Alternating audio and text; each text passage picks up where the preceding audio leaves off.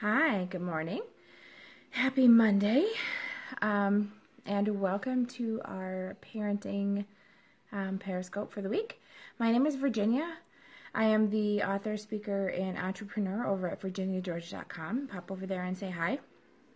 Um, and today we are going to talk about figuring out what your kids um, really need. Um, hi, welcome.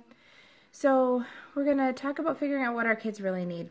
Um, how many times as adults do we react in a way that is not we respond to some kind of situation in a way that um, is maybe not ideal, and it's not because we don't know how to um, how to deal with it. It's because oftentimes there's another need that needs to be met. So oftentimes, you know, I will lash out at my husband about something, I don't know, seemingly lame, but it's because inside what I really need is connection. What I'm really trying to do is to connect with him and to feel close. And so the way to do that sometimes is to um, overreact about something else, or um, I'm getting really short and you know I'm very terse, and in reality I just need to eat.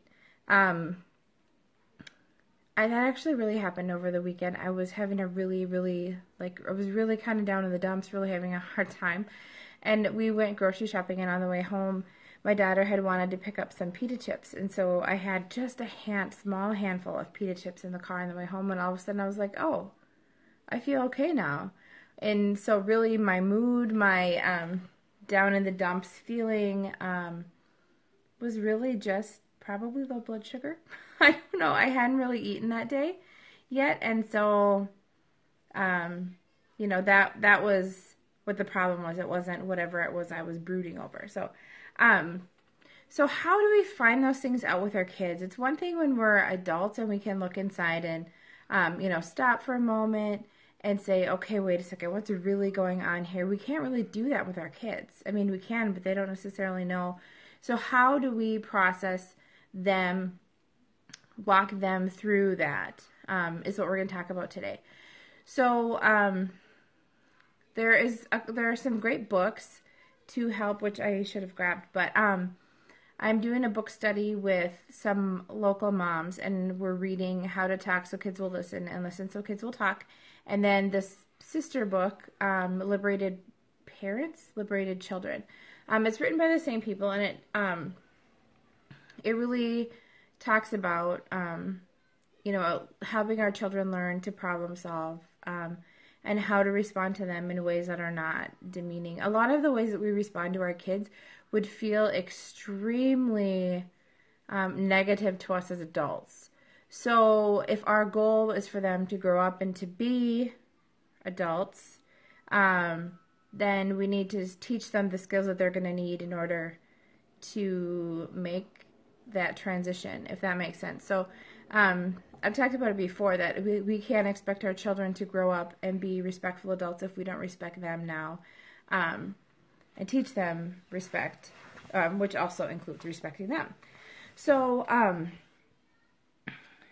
okay, so the first thing, um, and I and I have put this into practice, um, not as much as I should, um, because it, it takes self control. Um, it takes a little bit of rewiring and reworking what you're used to in your brain. Um, you know, when a kid comes and has an outburst, to give them the opportunity to um, to figure that out or to listen to what they're saying rather than discipline the reaction. So, um, I have an example of where my 10 year old was really upset about something. Somebody said something to him. One of the kids, they were getting ready for bed. I've got four kids. Um, they were getting ready for bed, and somebody said something that just set him off. I mean, for real.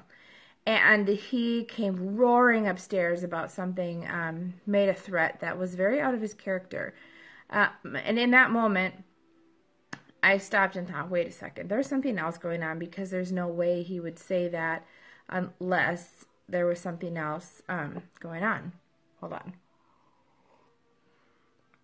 so we talked about, you know, I sat down with him um, and just was like, "Hey, what's going on?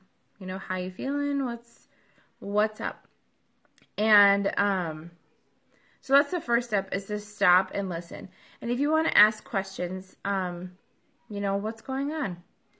And prod them along with, you know, this really ha- this happened today and I'm really angry. Oh, um, give them the opportunity to to work through it.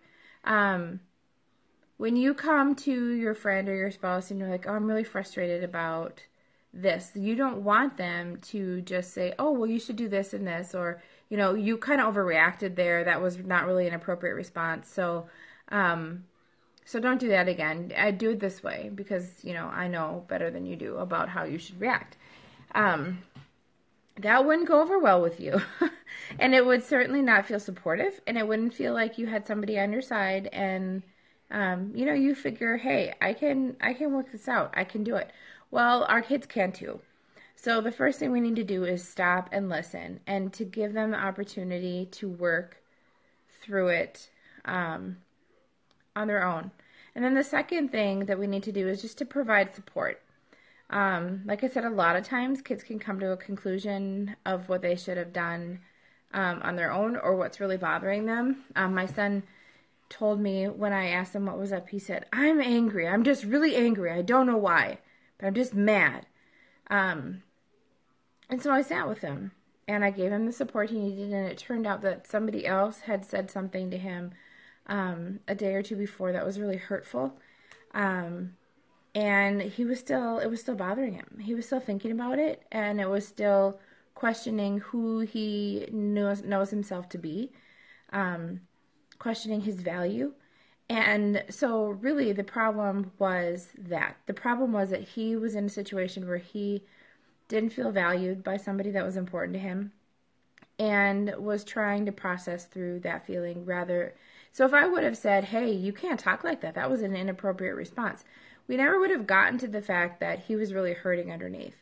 Um, you know, it's just when we we talk a lot in about that with our health, right? Like, you know, don't just take Tylenol every time you have a problem because you're just masking this. You know, you're just masking the symptoms. You're not ever finding the problem, or you know, you have indigestion a lot. Well, it could be that you have some issues in your gut, or it could just take Tums and um, and antacids and um, you know, and then you'll be fine. You can still live and function completely fine as long as you're popping Tums all day.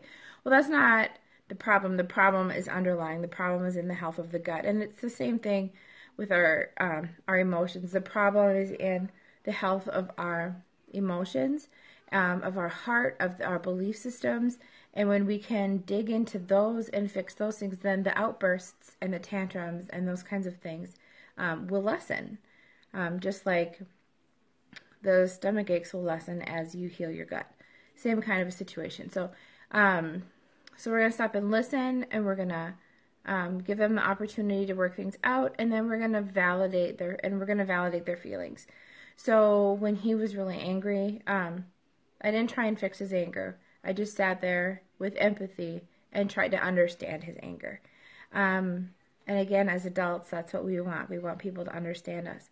So, um, those are um, those are the, the, the suggestions I want to make today, just about how we can dig down and figure out what's really bothering our kids, so we can address that rather than just addressing um, the behaviors. So, like I said, our goal is to grow these little people up into be great, awesome, big people. Um, and in order to do that, we have to you know, have a little self control. And that's that's what seriously one of the hardest things for me is to just stop my mouth and to be empathetic and stop and listen. I was parented pretty strictly. Um, there wasn't a lot of um, or any, I guess there really wasn't any um, discourse. There wasn't conversation um, about how things could have gone differently or looking into how I was feeling or why I was reacting the way I was. There just there wasn't that. And so my instinct is to parent the same way, is to snap to a judgment, saying, I'm the parent, I understand what you're feeling or I understand what's going on here. And so this is not okay and we're to fix it. Um, that's my default. And I don't think that that is um, necessarily the best. It's not the the way that I want my kids to grow up. So um, it's very challenging for me. Uh, but I encourage you this week to just take one situation where you're frustrated with your kids. Excuse me. And rather than jumping to some kind of a conclusion, to stop and get their side of it, to support them, to validate their feelings, um, and give them the opportunity to work through their problem on their own. And you might be surprised with a couple of leading questions, a couple of, you know, well, what could what could we do? Um, just some really open-ended questions. Let them get their answers out there. You might be surprised at how much um, they can learn about themselves through the situation. So if you have any questions, um, shoot me an email, virginia at virginiageorge.com, or tweet me at virgeorge, and I would love to hear from you. Um, and I tomorrow is Tuesday, and tomorrow we will have office hour from 2 to 3 p.m. Central, where you can catch me on Google Hangouts, have a live chat, um, hang out with me, um, ask me any questions that you have, or respond to anything that I have said on a scope or written in a blog post. Um, so I guess we will see you tomorrow. Have a great day.